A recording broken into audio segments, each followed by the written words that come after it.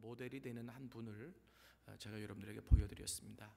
세상에 자기보다 나이가 많으신 모든 분들을 아버지, 어머니라고 부르면서 그렇게 풍족하지 않는데 자기 예, 돈에서 떼어서 노숙자들을 섬기고 그리고 닦아주면서 아버지, 아버지 그리고 연락 꼭 하세요.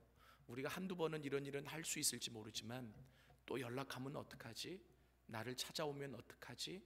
이런 부담감이 있을 수도 있는데 오히려 연락하라고 그리고 방이 없는 할머니에게 찾아가서 어머니 제가 한 달이라도 방 하나 잡아 드릴까요? 말할 수 있는 그러면서 부활주일 날 일어난 어떤 해프닝 때문에 상처받으신 그 노숙자에게 찾아가서 아 누군가 사과를 해야 될 텐데 교회가 잘못한 것도 아니고 예수님이 잘못한 것도 아닌데 내가 이분의 속을 풀어드려야 되겠다 하고 가드를 내리고 그냥 얼굴이 만신창이 되도록 맞았다고 하죠. 그런데 가려고 하는데 기도해 주고 가라 그래서 예수님만 부르고 있는데 너는 도대체 누구냐? 누군데 와서 이런 나한테 맞고 그리고 또 네가 사과를 하고 이러느냐? 그러면서 이분의 입에서 나온 얘기가 내 얘기 들어주는 예수. 모두 자기 얘기만 하려고 하는데 내 얘기 들어주는 예수. 그 예수 나도 한번 믿어보자. 저는 참 가슴이 뭉클했습니다. 예수님, 우리 얘기 들어주시는 분 아니겠습니까? 세상이 우리의 상황을 알지 못하고 또 세상이 우리 얘기 들어주지 않아도 그 예수님은 우리 얘기 들어주시는 분 아니십니까? 우리의 친구 되시는, 우리의 위로자 되시는, 실은 이 예수님을 전하기 위해 우리가 노력하고 있는 것 아니겠습니까? 그래서 오늘 이 영상으로 어떤 모델 되는 한 분의 이야기를 여러분들에게 보여드렸습니다. 오늘 이 성경에 보면 창세기 3장 8절부터 15절까지 그 하나님께서 최초로 전도하신 모습이 나와 있습니다. 그런데요, 실은 이 성경 구절을 자세히 보면 우리가 혹여나 생각했던 오해가 풀어질 수 있는 게 한 가지가 있습니다. 우리가 알고 있는 성경의 지식은 인간이 그 선악과를 따먹고 죄 짓고 타락하게 되었고 그리고 그 죄 때문에 하나님이 거하시는 에덴 동산에 같이 살 수 없어서 하나님이 그들을 내쫓을 수밖에 없었다. 그러게 결과는요. 죄 짓고 에덴 동산에서 쫓겨났다라고 하는 사실을 알아요. 그런데 조금 더 생각하는 사람은 이런 질문을 갖습니다. 하나님이 쫓아내시기 전에 한 번 더 기회 주시면 안 된대? 하나님이 쫓아내시기 전에 한 번 더 찾아오시면 안 된대? 그런데 실은 그 질문에 대한 답이 오늘 이 성경 구절에 나와 있습니다. 하나님은 쫓아내시고 심판하시고 죄를 정죄하시는 하나님이 아니시고 될 수 있으면 기다리시고 될 수 있으면 용서하시고 될 수 있으면 회복해 하시려고 하시는 분이 하나님이십니다. 그래서요, 오늘 이 성경 구절을 보면 그러한 질문에 대한 답이 우리에게 제시될 뿐더러 혹여나 우리가 가지고 있었던 오해가 풀어질 수 있는 부분이라고 저는 여러분들에게 말씀을 드리고 싶습니다. 그리고 오늘 이 부분을 보면 하나님도 이렇게 전도하셨다면 우리는 얼마나 어떻게 전도해야 될까가 우리에게 제시가 되어질 것 같아요. 간혹 저한테 어떤 분이 그래요. 목사님, 이렇게 하면 능력 있게 전도할 수 있습니다. 그래서 저는 어떤 방법이 있는가 하고 가서 보면 뭐 어떤 신유의 기적 좋죠. 그런데요, 성경 어디에도 그런 능력 전도를 통해서 그냥 사람들을 한꺼번에 여러분 이것은 그 사람이 가지고 있는 은사가 있을 때 가능한 일이기는 하지만 전도는 그런 은사가 있는 사람만 행하는 것이 아니라 모든 사람들이 죽을 때까지 하나님이 부르실 때까지 행해야 될 거룩한 부담감이에요. 그래서 오늘 이 성경 안에서 과연 이 하나님은 어떻게 그 죄 지은 아담과 하와를 회복시키기 위해 전도를 실천하셨는가 여러분들에게 좀 말씀드리고 싶습니다. 오늘 이 8절에 보면 그들이 그날 바람이 불 때 동산에 거니시는 여호와 하나님의 소리를 듣고 아담과 그의 아내가 여호와 하나님의 낯을 피하여 동산 나무 사이에 숨은지라라고 기록되어 있습니다. 저는 이 8절에서 중요한 하나의 단어가 있다고 생각을 합니다. 그 단어가 바로 어떤 단어냐면 그날이라고 하는 단어예요. 여러분이 그날이라고 하는 단어 특별한 날이라고 하는 겁니다. special day라고 하는 거죠. 영어에도 a day가 있고 the day가 있습니다.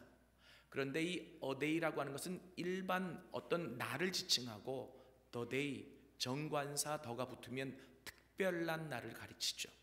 그런데 오늘 이 성경 본문은 히브리서로 아니 히브리어로 기록되어 있는데 히브리어 본 원문에 보더라도 정관사가 들어가 있어요. 그러면 하나님이 그 아담과 하와를 찾아가신 날이 특별한 날이라는 겁니다. 이게 무슨 말이냐면요. 우리가 이렇게 생각할 수 있습니다. 선악과 따먹지 말라고 그거 따먹으면 네가 반드시 죽는다고 창세기 2장에서 하나님이 그렇게 말씀해 주셨는데도 불구하고 하나님께 불순종하고 선악과를 따먹었잖아요. 하나님 마음이 얼마나 힘들겠습니까? 하나님 마음이 얼마나 어렵겠습니까? 그러니까 하나님이 뭔가 좀 마음을 삭힐 시간이 필요하고 그래서 이틀 3일이 지난 뒤에 그래도 내가 찾아가야지 이르고 찾아가셨어도 우리에게 은혜가 돼요. 그런데 성경은 뭐라고 얘기하냐면 하나님이 그날 찾아가셨대요. 그날이라고 하는 것은 특별한 날인데 성경 창세기 1장, 2장, 3장을 연속해서 읽어보면 무슨 날이 특별한 날이었을까? 한 가지밖에 없어요. 그것은 뭐냐면 그들이 선악과를 따먹고 죽게 된 바로 그날을 얘기하는 겁니다. 자, 그러면 이것이 무엇을 얘기하냐면 하나님은 비록 속상하고 마음이 아프고 힘드셨을 수 있어요. 그러나 그럼에도 불구하고 당신의 아픔과 당신의 힘듦이 먼저가 아니라 그것 따먹고 죽게 된 영혼을 더 안타깝게 여기신 거예요. 내가 그 영혼 찾아가서 구원하지 않으면 그대로 죽을 수밖에 없다라고 하는 거죠. 그래서 그 하나님이 그 선악과를 따먹은 그날 조금 더 강조하자면 바로 즉시 하나님이 찾아가셨습니다. 여러분, 우리 자녀들이 부모가 하지 말라는 것, 너 이거 하면 안 된다고, 이렇게 되면 죽는다고 어떤 규정을 지어줬다고 하더라도 간혹 그 규정을 그 울타리를 넘어서 진짜 죽게 될 상황에 처한 자녀가 생겼다라고 한다면 부모가 거봐라 너 아빠 말 안 들었기 때문에 엄마 말 안 들었기 때문에 넌 죽어야 돼 하고 죽게 된 자녀를 그냥 뻔히 쳐다볼 부모가 어디 있겠습니까? 부모도 자녀가 죽게 되었다면 그 죽게 된 자녀를 한시라도 빨리 달려가 살리고자 하는 게 부모이다면 그 사랑의 근원이 어디냐? 하나님이시라는 거예요. 그래서 그 하나님은 그 선악과를 따먹고 죽게 된 그 아담과 하와를 찾아가셨습니다. 먼저 찾아가셨습니다.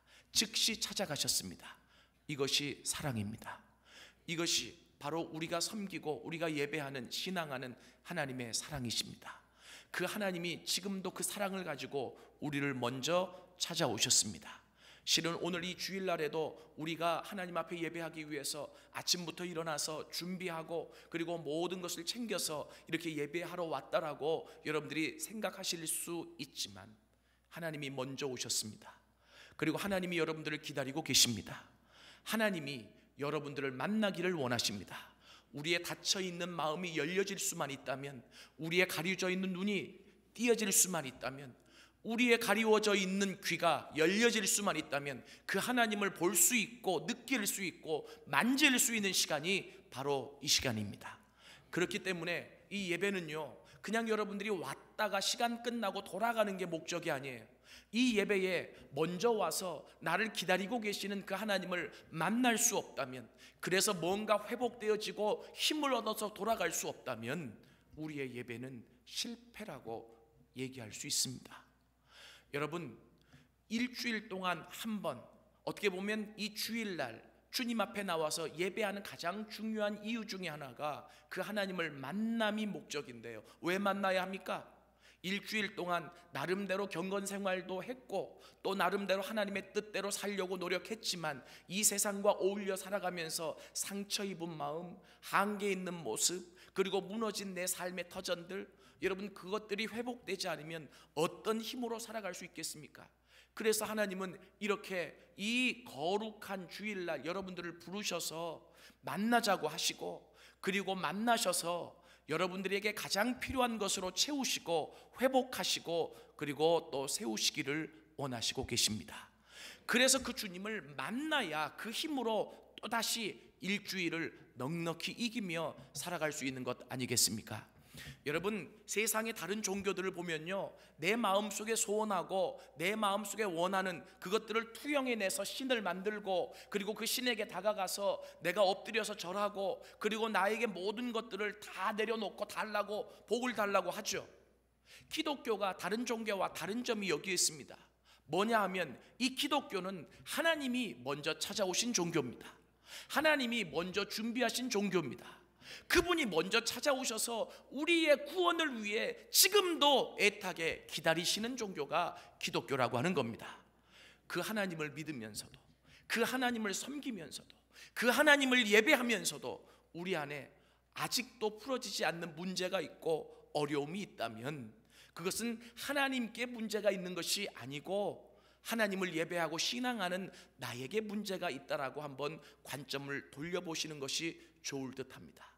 그래서 오늘 이 시간에 그 하나님이 말씀하시고자 하시는 말을 그 음성을 듣고 회복되어질 수 있는 시간이 되실 수 있기를 원합니다. 여러분, 실은 하나님이 그렇게 인간을 찾아가셨을 때는요, 실은 여러분 모든 것을 내려놓고 찾아가셨다라고 여러분들에게 말씀드리고 싶습니다.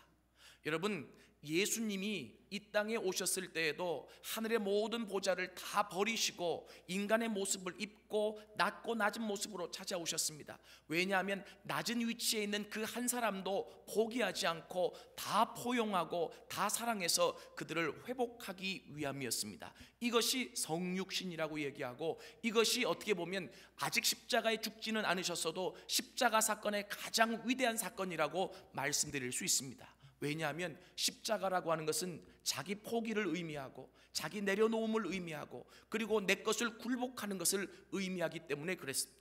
그 예수님은 십자가에 죽기 전에 이미 십자가를 지신 분이십니다.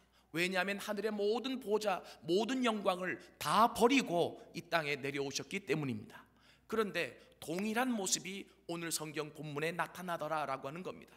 실은 성육신 사건은 신약에만 있는 것이 아닙니다. 죄된 인간을 찾아오시는 그 하나님의 모습 안에서 성육신이 연상되어지더라라고 하는 겁니다. 왜 그렇습니까? 여러분, 하나님은요, 우리가 너무 친근하게 생각하는 것은 좋지만, 그러나 그 하나님 오라 그래서 오고 가라 그래서 가실 분이 아니에요. 그 하나님을 우리 마음대로 좌지우지할 수 있는 분이 아니라고 하는 겁니다. 그 하나님은 전능하신 분이십니다. 그 하나님은 위엄이 있으신 분이십니다. 그 하나님은 전지하신 분이세요. 그런데 그 하나님이 죄된 인간을 찾아가서 그 인간을 회복시키시겠다라고 했을 때에 당신의 영광과 당신의 전능함과 당신의 모든 위엄을 내려놓고 그 죄인의 수준에 맞추어서 찾아가셨습니다.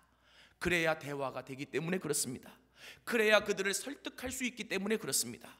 오늘 이 성경의 본문에 8절부터 15절까지를 쭉 읽어 보시면 실은 그렇게 죄 때문에 변명하고 죄 때문에 하나님을 피하고 그리고 죄를 전가시켜도 하나님이 한 번도 그들을 꾸짖거나 야단치지 않습니다. 왜요? 그것은 죄의 영향력이라는 사실을 하나님이 아시기 때문에 그렇습니다. 여러분, 하나님이 철저하게 낮아지신 거죠. 당신의 모든 것을 비우신 거죠. 그 한 영혼을 구원할 수만 있다면, 그 영혼을 살릴 수만 있다면, 그 영혼을 회복할 수만 있다면, 이것이 하나님의 마음입니다. 결론적으로 말씀드리자면, 이 자세가 전도자가 세상을 향해서 가져야 될 자세다라고 하는 것입니다. 뭐냐 하면, 여러분, 뭐 아직 시도를 안 하신 분도 계시겠지만 또 시도하시다가 낭망하신 분도 계실지 모르겠습니다. 세상이 그리고 이 죄가 만만찮아요. 그래서 우리가 전도하러 나갔을 때 그 사람들이 거부할 수도 있고요. 그 사람들이 우리에게 욕할 수도 있고요. 그런데 놀라운 것은 이미 하나님께서 그 모든 욕 다 들으시고 그리고 다 비우시고 그러나 포기하지 않고 기다리시면서 끝까지 일하시더라. 이것이 하나님의 전도의 모습입니다. 그 가운데서 어떤 초월적인 능력을 발휘하시거나 어떤 은사를 발휘해서 그 사람을 강권적으로 강제적으로 돌아오게 하시는 것이 하나님의 뜻이 아니에요. 물론 강제적으로 강권적으로 하실 수 있습니다. 그러나 하나님이 인간을 만들어 놓으셨을 때는 하나님의 형상과 모습대로 만들어 놓으셨습니다. 하나님의 어떤 종이 아니고 하나님의 로버트가 아니고 꼭두각시가 아니라 스스로 결단하고 스스로 판단할 수 있는 하나님과 똑같은 존재로 인간을 만들어 놓으셨습니다. 그래서 그 인간의 마음을 설득하고 그 마음을 얻는 일이 너무나 중요했기에 하나님이 최대한 그들의 입장에서 자기를 낮추신 거다라고 여러분들에게 말씀드리고 싶습니다. 그래서 저는 이 본문을 가지고 또 다른 제목으로 설교를 한 적이 여러 번 있습니다. 각도를 조금 바꿔보면 오늘 저는 최초의 전도라고 하는 타이틀을 붙였지만 또 다른 제목을 붙일 수 있다면 성경에 나타난 최초의 십자가 사건이에요. 성경에 나타난 최초의 십자가 사건. 왜입니까? 성경에서 당신을 비우시고 당신을 내려놓으시고 절대적으로 굴복한 사건이 이 안에 나타나 있기 때문에 그렇습니다. 자, 하나님은요, 그렇게 즉시 그 타락하, 타락해서 죽을 수밖에 없는 아담과 하와를 구하시기 위해 찾아가셨습니다. 그러면 적어도 인간 편에서는 그렇게 자신을 비우고 찾아오시는 하나님을 맞이하고 영접해야 이게 예의고 또 옳지 않겠습니까? 그러나 죄는 그렇게 하지 못하게 합니다. 여러분, 이게 죄의 영향력입니다. 예수 십자가 복음에 아주 위대한 능력이 있습니다. 그러나 여러분들이 한 가지 간과하지 마셔야 될 것이 있어요. 그것이 바로 뭐냐면 우리가 쉽게 짓는 죄에도 영향력이 있고 그 권세가 있다라고 하는 것이죠. 그래서 죄는 쉽게 짓지만 그 죄는 우리로 하여금 하나님께 가까이 못 나가게 하고 그리고 그 하나님이 하는 일에 변명하게 하고 반대하게 하는 일들을 행하기도 한다라고 하는 것입니다. 그래서 하나님이 일방적으로 그들을 찾아가셨지만 오늘 성경 말씀을 보면 하나님이 찾아오시는 소리를 듣고 아담과 하와는 숨었더라라고 기록이 되어 있습니다. 어떻게 보면 그 하나님 그 죄인을 찾아가신 하나님에게 치욕을 안겨준 일이었습니다. 왜냐하면 그렇잖아요. 나는 모든 것을 다 비우고 용서하기 위해 찾아갔는데 기쁨으로 나를 맞이해 줬으면 좋겠는데 숨어버린다라고 하는 것은 나 당신 만나고 싶지 않습니다. 나 당신 싫어요라고 하는 간접의 의미가 포함되어 있기 때문에 그렇습니다. 하나님은 만약에 당신을 비우지 않았다고 한다면 그런 상황이 됐을 때 그냥 돌아가실 수도 있었습니다. 그러나 하나님이 찾아오신 것은 내가 하나님이다. 내가 이렇게 권위 있는 자다라고 하는 것을 내세우기 위함이 아니라 어떻게 하면 그 죽을 수밖에 없는 그 영혼을 살릴 수 있을까에 하나님의 초점이 맞춰져 있습니다. 그래서 하나님은 그렇게 숨어 있는 아담과 하와에게 이 질문을 던지십니다. 아담아, 내가 어디 있느냐? 실은 이 질문이 엄청난 질문입니다. 여러분, 제가 한번 여쭤보죠. 아담과 하와가 숨어 있는 곳을 하나님이 아실까요? 모르실까요? 아십니다. 왜요? 그 하나님은 전능하신 분이시고 그 하나님은 전지하신 분이시기 때문에 그렇습니다. 그럼에도 불구하고 하나님이 이 질문을 던지신 이유가 어디에 있을까요? 인간 편에서 보자면 지금 하나님을 피해서 숨어 있는 아담은 이 질문을 듣고 깨달았을 거예요. 왜 나는 지금 하나님을 피해서 숨어 있는 거지? 하나님을 피해서 숨어 있는 이 자리는 두려운 자리잖아요. 누구를 피해 있다, 숨어 있다라고 하는 그 자체가 두렵고 떨리고 눈물 나고 힘들고 어려운 거 아니겠습니까? 왜 내가 이렇게 있지? 생각을 했을 거예요. 그런데 하나님 편에서 그 질문을 해석해 보자면 이런 해석이 가능합니다. 아담, 나는 나를 피해서 네가 어디에 숨어 있는지 내가 알고 있다. 그런데 나를 피해서 숨어 있는 그 자리를 한번 보라는 거죠. 나를 피해서 숨어 있는 그 자리는 울고 있는 자리고 불안한 자리고 좌절하고 그리고 아픔이 있는 자리고 걱정과 염려가 있는 자리 아니냐. 내가 처음에 너를 만들었을 때 그렇게 울면서 살라고 너를 만들지 않았어. 내가 너를 처음 창조했을 때 그렇게 걱정하며 살아가도록 너를 만들지 않았어. 내가 처음 인간을 만들었을 때 그렇게 염려하면서 아파하며 살라고 만들지 않았어. 그런데 왜 그 자리에 숨어서 아파하고 울고 힘들어하고 있느냐? 그 자리는 네가 있어야 될 자리가 아니라는 겁니다. 나오라는 하나님의 초청이 이 질문 안에 담겨 있다라고 하는 겁니다. 여러분, 세상에 나가서 전해야 될 가장 중요한 메시지가 이 메시지 아니겠습니까? 아담 특별한 이름이 아닙니다. 흙으로 만든 모든 사람이 아담입니다.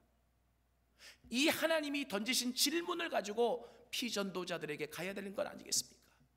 이 세상에게 전해줘야 될 것 아니겠습니까? 세상의 사람들, 나보다 돈 있는 사람들 많이 있을 수 있죠. 나보다 지위가 높은 사람들 많이 있을 수 있습니다. 그러나 여러분들이 영적인 안목으로 보셔야 될 게 있어요.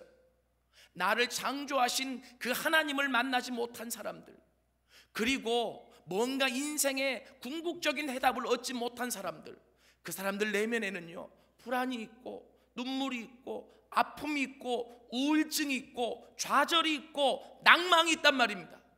어떻게 해야 이것을 해결할 수 있을지 그 내면은 그 영혼은 계속 그 부분을 추구하고 있습니다. 그 영혼에게 하나님이 지금 질문을 던지시는 겁니다. 아담아, 때가 어디 있느냐? 이 질문은요. 아까 우리가 영상을 봤지만 이 모든 것을 포함하는 것 같아요. 너 아내에게도 말하지 못하고 너 혼자 울었던 그 시간들을 내가 안다. 너 남편에게도 말하지 못하고 그렇게 아파했던 그 시간들을 내가 안다. 너 네 힘으로 풀지 못하는 육체의 건강의 문제를 내가 알고 네가 풀지 못하는 인생의 문제를 내가 안다. 얼마나 많이 힘들었느냐고. 여러분, 이 질문과 답변을 주실 수 있는 분은 우리를 만드신 하나님이신 창조주일 수밖에 없다는 사실을 기억하셔야 합니다. 우리가 전도한다라고 하는 것은 물론 교회에 데리고 오셔야 되지만 그냥 교회로 데리고 오는 것에서 끝나지 않습니다. 바로 이 질문을 가지고 영적으로 내면적으로 헤매이는 그 사람들에게 답을 줘야 된다라고 하는 것이죠. 오늘 하나님은 그렇게 하나님을 피해서 힘들어하고 있는 아담 그리고 그 하와에게 아담아 내가 어디 있느냐 아담아 내가 어디 있느냐라고 묻고 계십니다. 성경이 문어체로 쓰여져 있기 때문에 우리가 그냥 쭉 읽으면 감동이 없어요. 그런데 성경을 좀 묵상하면 행간의 의미가 보입니다. 여러분 혹시 내가 낳은 자녀를 잃어버려 보신 적이 있으십니까? 그 자녀를 찾아야 되는데 못 찾아서 헤매신 적이 있습니까? 그 부모의 마음이 얼마나 안타깝겠습니까? 아담아, 내가 어디 있느냐? 라고 하는 하나님의 이 질문에는 그 하나님의 눈물이 숨겨져 있습니다. 그 하나님의 안타까움이 숨겨져 있습니다. 내 자식들 저렇게 살다가는 죽을 수밖에 없는데 거기서 나와야 되는데 거기서 회복되어져야 되는데라고 하는 하나님의 마음이 들어가 있다라고 하는 거예요. 그냥 성경을 문어체로 읽으면서 아담아 내가 어디 있느냐라고 그냥 한마디 읽고 넘어가지 마십시오. 아담아 그 하나님의 절규 그 하나님의 눈물 그 하나님의 간절함이 이 안에 담겨져 있습니다. 그래서 우리가 매번 전도해야 되지만 우리가 교회에서 특별히 우리 수정교회는 1년에 두 차례씩 정해서 총동원 주일 전도 주일을 갖지 않습니까? 이날만 전도하는 게 아닙니다. 정말 그 하나님을 닮아간다면 그 하나님의 심장이 우리 속에 있다면 그 하나님의 마음이 우리 안에 있다면 이 마음을 가지고 그 한 영혼 한 영혼에게 다가가서 그 하나님의 마음을 대변해 줘야 되는 것 아니겠습니까? 하나님이 만약에 지금도 사람을 찾으신다면 만약에 하나님이 지금도 사람을 쓰시기를 원한다면 그 한 사람이 이러한 사람이지 않을까요? 누가 나를 위해서 울어주고 누가 나를 위해서 내 말을 대변하며 누가 내가 가야 될 곳에 자신들의 발을 움직여 갈 수 있을까라고 하나님이 물으실 때 하나님 내가 여기 있습니다. 나를 보내십시오라고 얘기해야 되지 않겠습니까? 실은 아담아 내가 어디 있느냐라고 하는 이 질문은 세상 그리고 피전도자들에게만 던지는 질문은 아닙니다. 오늘 예수 믿는 우리들에게 1차적으로 던져봐야 될 질문입니다. 우리가 육신은 하나님 전에 나와 있지만 우리의 가장 중요한 부분은 딴 곳에 가 있을 수도 있기 때문에 그렇습니다. 한 번은 제주도에 가서 개척교회를 준비하시는 어떤 그룹의 주일만 한 달 동안 가서 설교를 한 일이 있었습니다. 한 번은 이 본문을 가지고 아담아 내가 어디 있느냐라고 하는 설교 제목을 가지고 설교를 했습니다.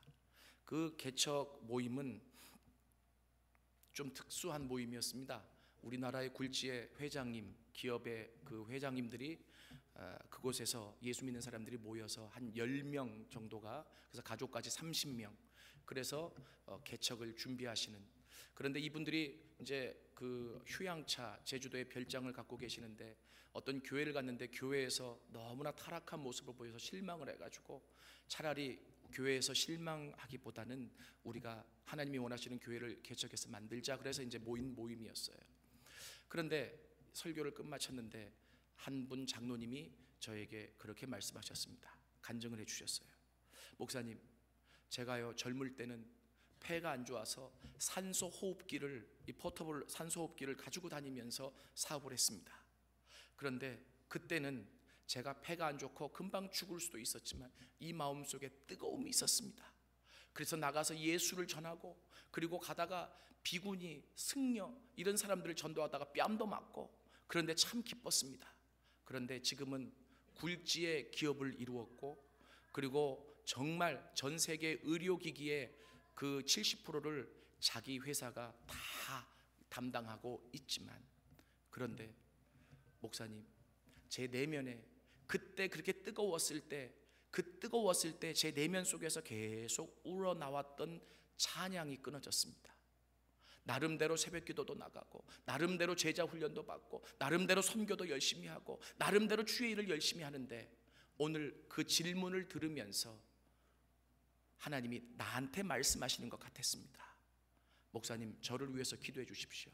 제 내면에 그 계속 올라왔던 하나님을 향한 찬양이 회복될 수 있도록 기도해 주십시오. 저는 그렇게 말씀을 전했지만 그렇게 진지하게 반응해 주시는 장로님이 너무 감사해서 같이 기도하시자고 그리고 같이 붙잡고 울면서 기도했습니다. 여러분, 오늘 여러분들에게 하나님이 먼저 들려주시는 질문이 이 질문 아니겠습니까? 아담아, 내가 어디 있느냐? 그런데 결국 이 죄는 변명하게 만들고 아담이 하와에게 죄를 전가하게 만들고 하와는 뱀에게 죄를 전가하게 만들어요. 아담이 하와에게 배, 죄를 어떻게 전가합니까? 당신이 만들어준 여자, 그 여자가 저 열매를 따먹게 하지 않았습니까? 라고 이야기를 하죠. 여러분, 그런데요, 재미난 것은 뭐냐면 창세기 2장에 보면 하나님이 하와를 만들어 주셨을 때 최고의 사랑의 고백을 하잖아요. 내 뼈 중에 뼈요, 살 중에 살이라.